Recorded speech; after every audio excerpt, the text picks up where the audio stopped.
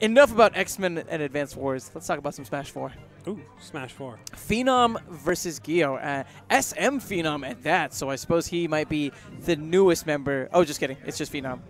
Just Phenom. I got baited so hard by M. So hard. So, matchup, uh, we're going to be seeing, I think, another Rob here. And it's going to be the uh, matchup of Fox versus Rob. I think uh, I think Gyo's Rob a little bit more higher power leveled. Uh, we've seen, a, I don't know. I've seen a lot more of Gyo's Rob. I've played against it. I've seen it. Uh, this should be a really, really good match simply because these two players are well-known, good players that come to Shockwave often. We know that we're going to see a great match between these two. Uh, Phenom I like Phenom's Fox movement. Out of all the Foxes here, I think his movement is generally the best. He does a lot.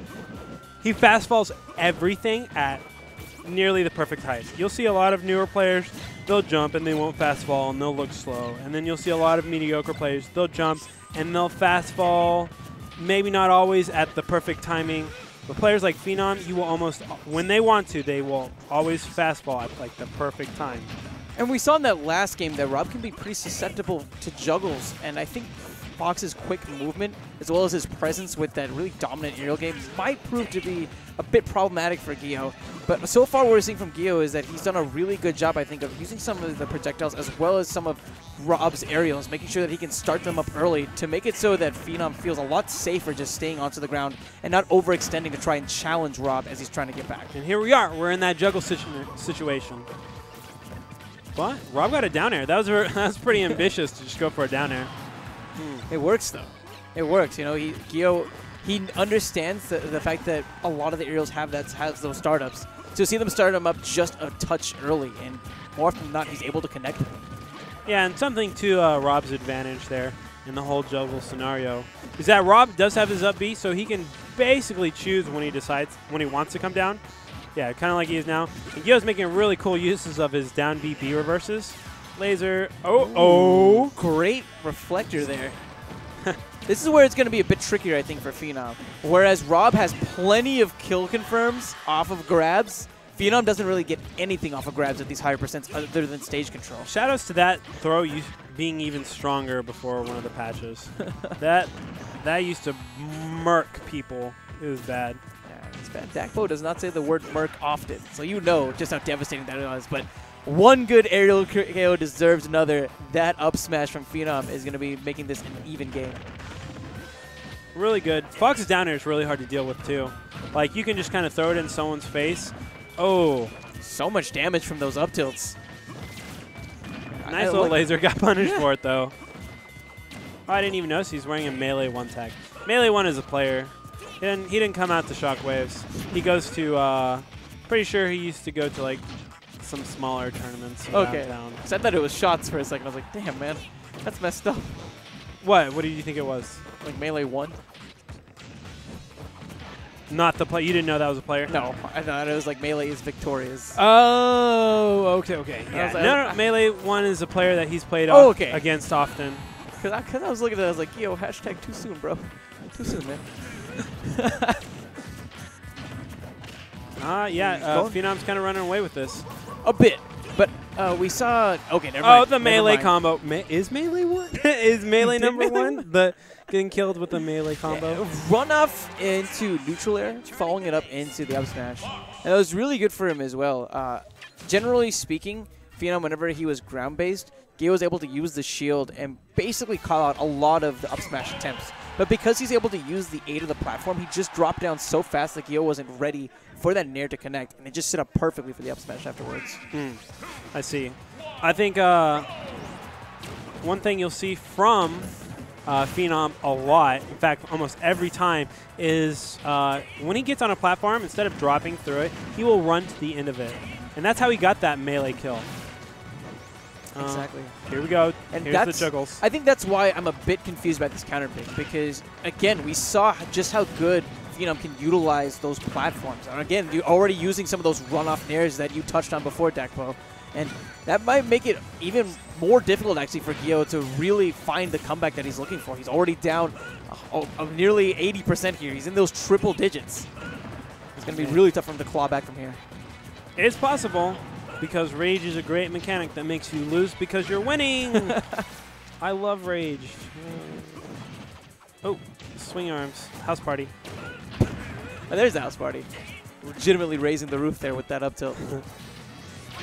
Oh, Ooh. that could be a kill. That- oh, oh, it he- nearly he, was. hesitated. He started charging his gyro, and then he goes, "Oh no, this is the wrong. This is an opportunity." Phenom able to go ahead and avoid both of those projectiles there. Take some control over center.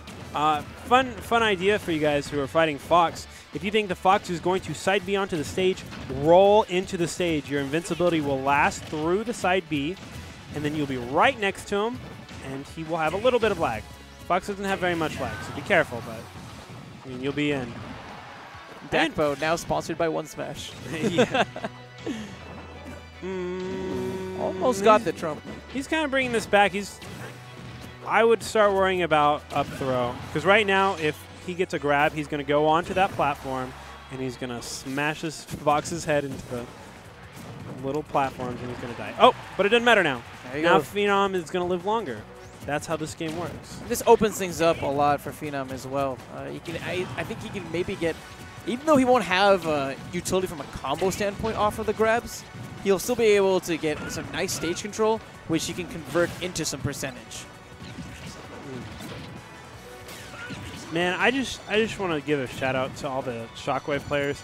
The amount of talent has just been going up and up and up at Shockwave. It used to be Shockwave used to be like, uh, is Dinty there? Is Aerolink there? Okay, those are the winners. Or whatever if I'm there, which I usually wasn't when the, the game first came out. But like as of recent, there's like a good handful of like nine to ten players at every Shockwave that are threats. And it's crazy. It's so awesome because that means we're all going to get better because we have stronger competitions, especially at weeklies, and these get big.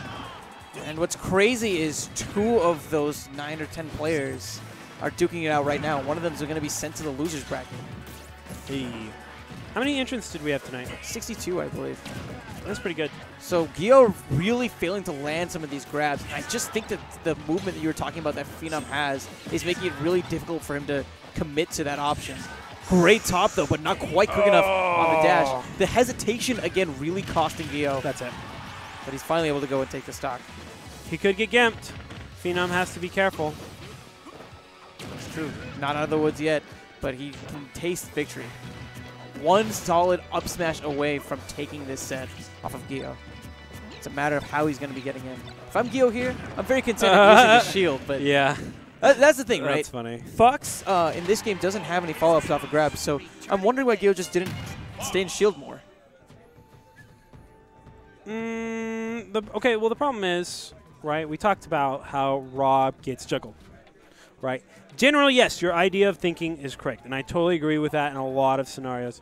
Uh, the problem, Rob is floaty. He has a hard time getting back onto the stage from the ledge. And in that scenario, he died because he couldn't get out of the corner Uh, because he got hit into the air, and then he had to recover from the side, and then got back on stage, and then he could never get out of that. So, yes, staying in shield is going to help. You're not going to die. But the thing is, grab is going to put you into a situation where you're in a lot of danger. Right. It's the fact that he was constantly at, at disadvantage for the majority of that late game that made it so that Phenom was able to get to the point where he could connect that up smash. And that's scary. Man, Phenom is a very scary player. Yeah. aggression.